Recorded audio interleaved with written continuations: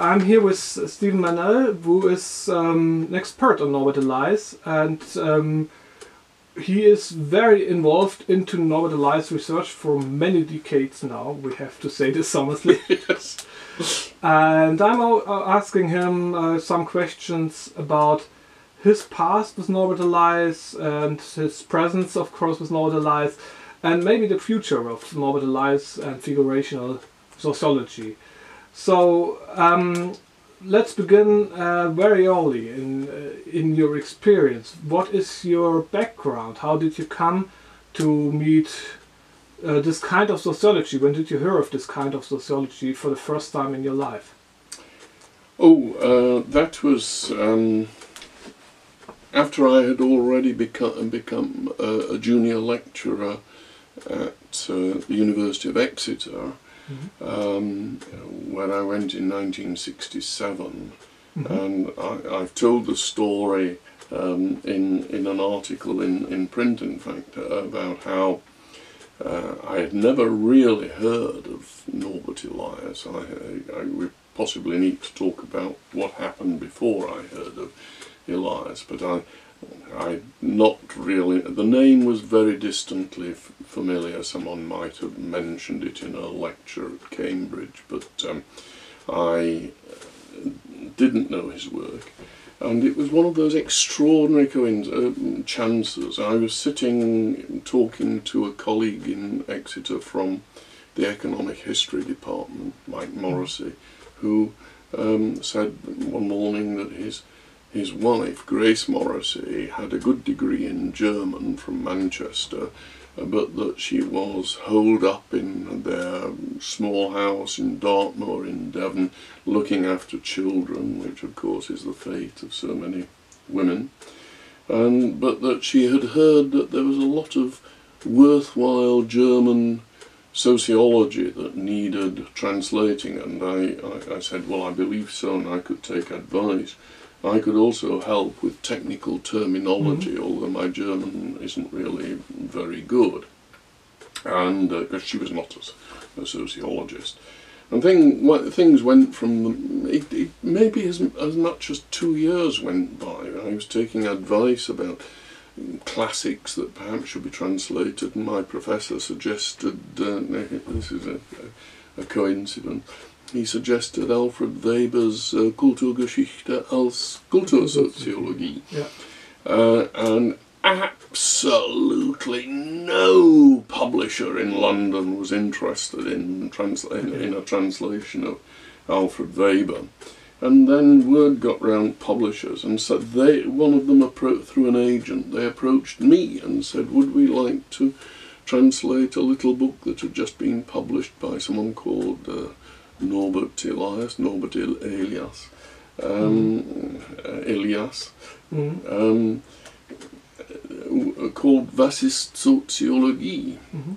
And I looked back through the correspondence fairly recently, and the interesting thing is that I my first reaction was that won't do my career any good at all to translate an introductory textbook, and um, of course the, poor, the, the the London publishers had bought the rights to uh. Was ist Soziologie Mhm. uh, under the delusion that this was a general introduction to sociology, whereas, as, as we know, it's really uh, Elias's major statement of his own theoretical position. And uh, I, the story is, is, is a long one, but I don't know whether you know the, the, the background.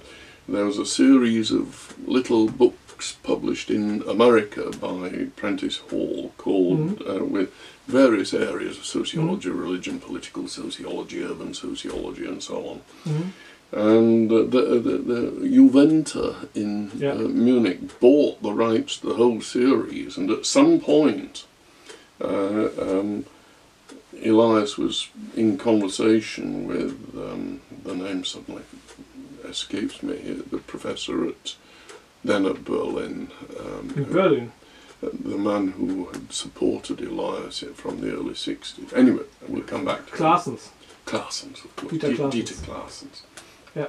And uh, uh, Elias said to Claessens, Uh, um, the book, the introductory book, What is Sociology, was Mhm. written by Alex Inkeles, Mhm. uh, who's a famous sociologist that I'd been to lecture, uh, one or two lectures at, at Harvard by. Mhm. And Norman said, well, whatever sociology is, Alex Inkeles has no idea what it is. And so that's how Elias came to be writing the German introduction, which is on a, a completely higher intellectual level. I mean, the, the Inkeles book is terrible. Um, and um, on the other hand, uh, I don't think is sociology and, or what is sociology is. It's a misleading name for the book, uh, title for the book, Yeah.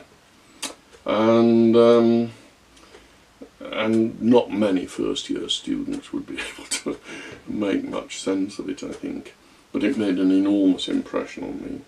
And so we embarked on the translation after I'd been persuaded that it was not trivial.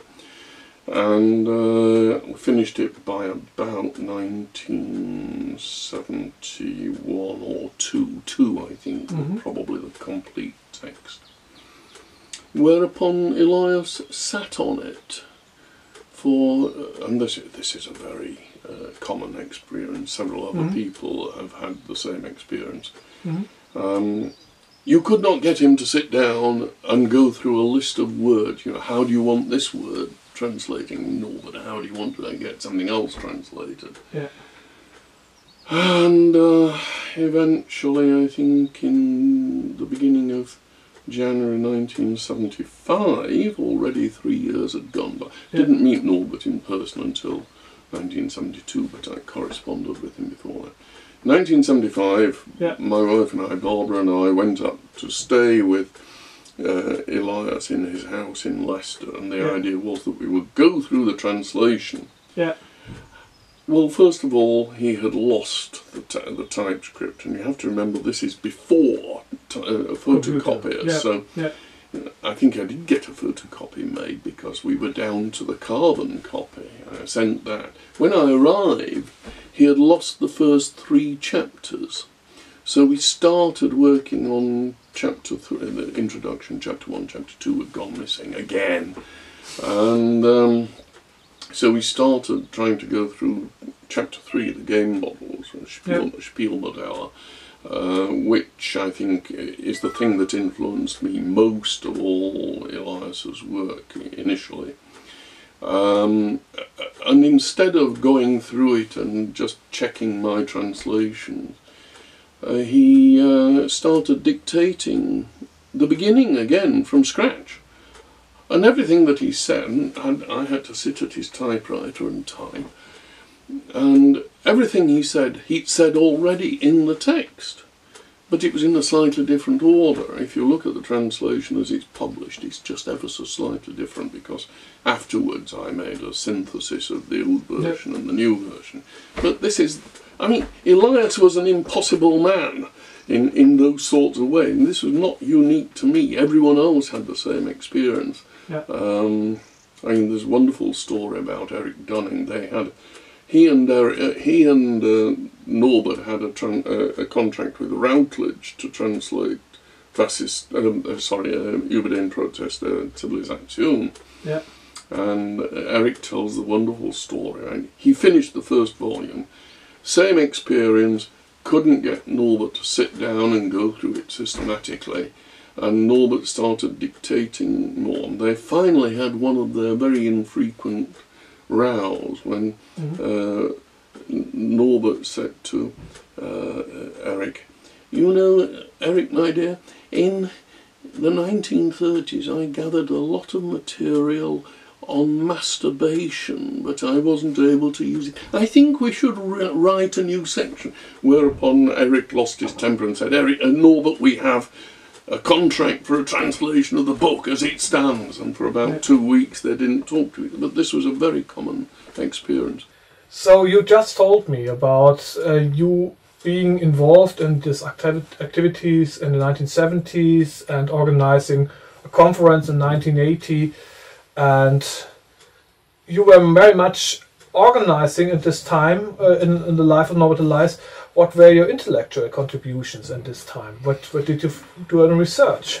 Oh yes, well I was um, at that time in the first from about 1979 onwards. I I decided that I would like to do a piece of Elias style research of my own, which uh, Norbert very much encouraged. Um, and the topic that I seized upon, I, I should explain I didn't have a doctorate. All, all, all these things are quite astonishing uh, now. Yeah. You know, the very early appointment by telegraph and things like that. Yeah. I didn't have a doctorate until I was, I think, 41. Anyway, uh, so I decided to do. I was interested in food. My wife is was an enthusiastic cook and gatherer of cookery books, and we both got rather interested in this. And so, at first, I had a very uh, vague idea that maybe it would be possible to do something with cookery books rather like Elias had done with manners books. And I, I, I said this to him, and he he wasn't so encouraging, but it was interesting that once he decided that I didn't know anything, it turned out that he did know quite a lot on the subject, even of food. He read so much social history. So, cut a long story short, um, m- my hunch was correct that um, the, the book that I published in 1985 called All Manners of Food, Eating and Taste in England and France from the Middle Ages to the present uh, was um, enormous success as it happened.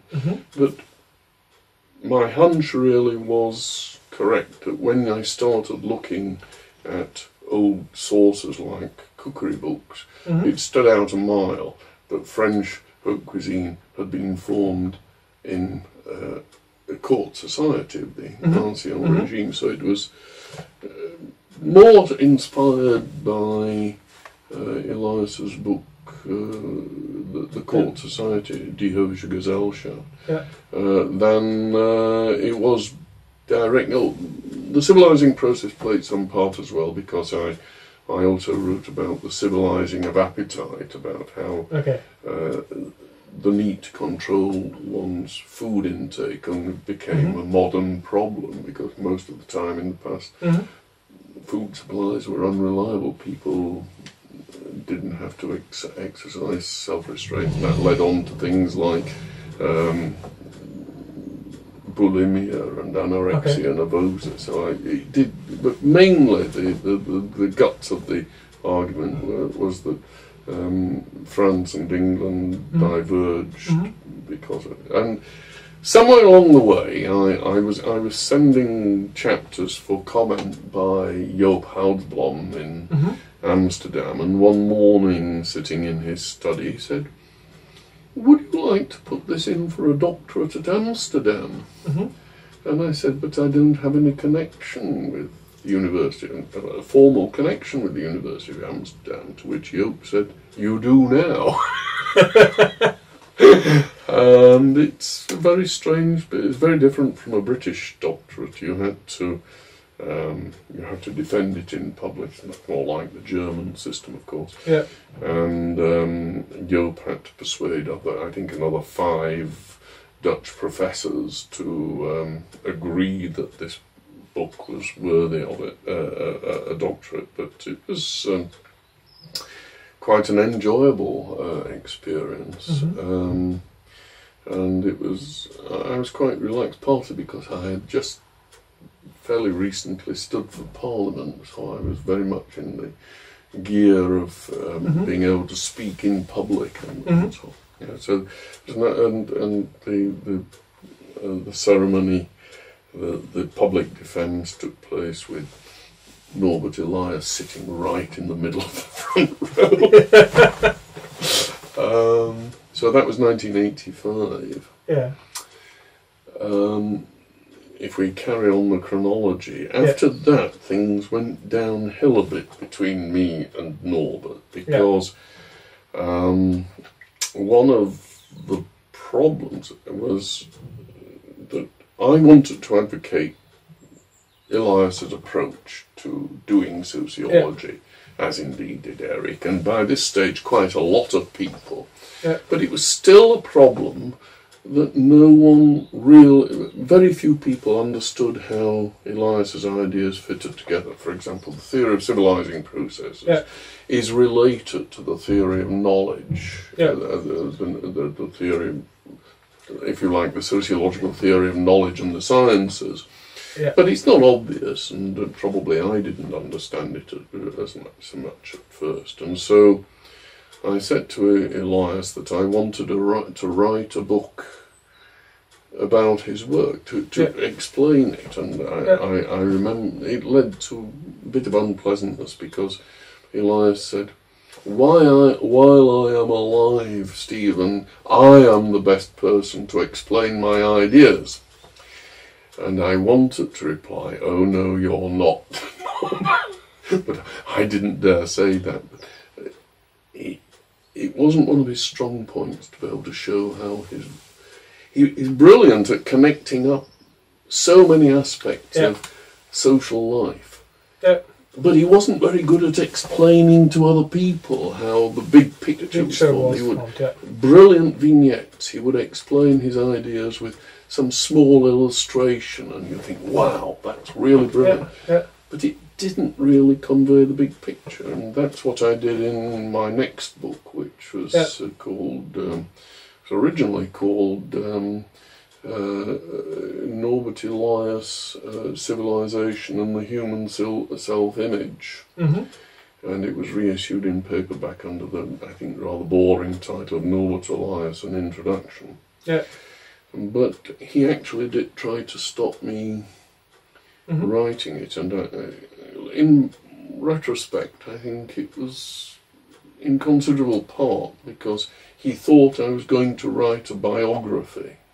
Yes, but you I didn't. didn't want a biography. I, I, of course, there's a first chapter which completely reflects. It's, it's not as you know yourself. It's actually not very accurate, and even then, I probably knew that it wasn't terribly accurate. But Elias was still alive, Mhm. and um, if I were to try to probe deeply and show where he wasn't completely telling the Mhm. full story about his life, he would have been very offended. So I just I read his autobiographical letter in, in Dutch Mhm. and I summarised it, and Mhm. then I, and then the rest of the book is an exposition of as many as possible of his uh, publications and how they're related to each other. Yeah. Um, some some books came later, like um, the Society of Individuals had not been published, or had just been published when I, I I was publishing my own book.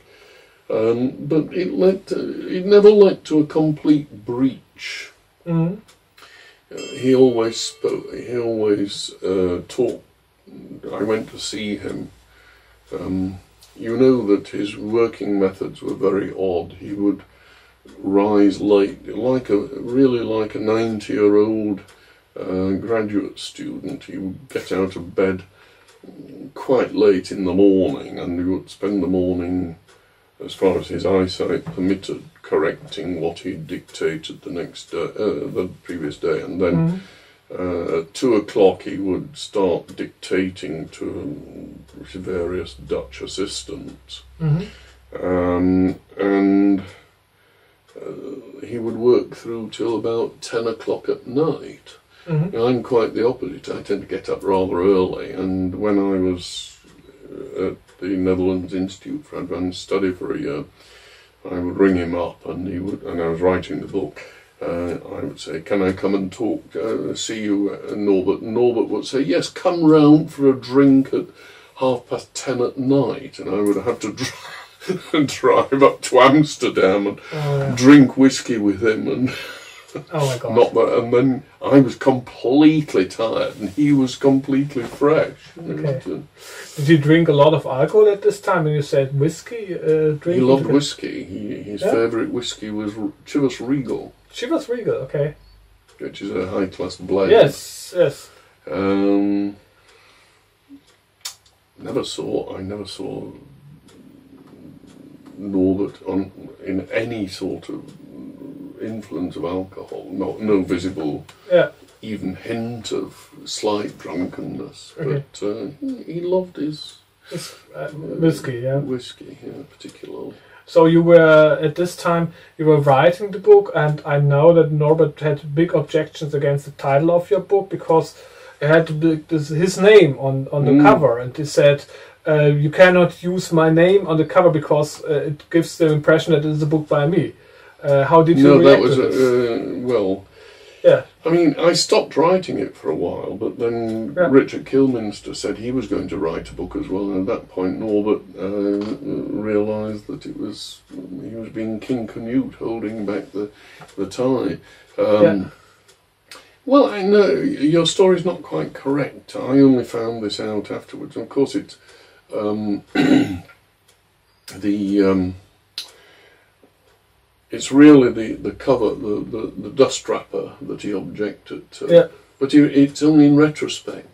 And uh, I wasn't there, but I think Eric Dunning was, and he saw Mhm. Hermann Korte winding up Mhm. Elias's anger after it had been published. Mhm. Uh, there's a copy of it there, um, and you'll see that yes, it can be read as uh, a book by Norbert Elias called Civilization and the Human Self-Image, whereas the title was actually Norbert Elias colon Civilization and the Human Self-Image Yeah. by Stephen Mennell. Yeah. Uh, but I had no control over the way that publishers did that, and so. Okay. But but I, I think um, uh, Hermann had just published his own small biography as well, and I think uh, I think there was a certain amount. Around Norbert Elias in the 1980s, there was something like Die Höfische Gesellschaft. There Yeah. was a little courtly circle with Yeah. people jockeying for position, and uh, um, I mean, I only found out indirectly that Hermann had put it into uh, Norbert's head that this book now looked like one by Norbert rather than about Norbert. But, Mhm. Um, two things. Um, things were a little bit strained late 1989, but you know, we there was never a complete break Mhm. uh, between us. But um, when the book came out, um, I had already accepted a chair at Monash University in Melbourne, Australia. Australia. Mhm. Um, and I was going off there, and I think it was right at the end of June, something like the third week in January in 1990. It was really only a week before we were going to Australia. Mhm. And I saw Elias for the last time because Joop and Maria Goudsblom put on a, a party, a, a farewell party Mhm. for me, and Norbert was looking very old, and I Yeah. suppose you might have thought perhaps he wasn't going to last very long, though that didn't occur to me. But Norbert came downstairs and he said there were two things that showed that he actually there hadn't been a total breach. He said, I think after all, Stephen, your book may do some good.